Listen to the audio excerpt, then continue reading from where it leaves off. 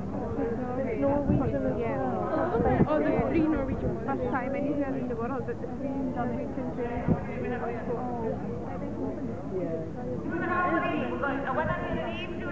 Yeah.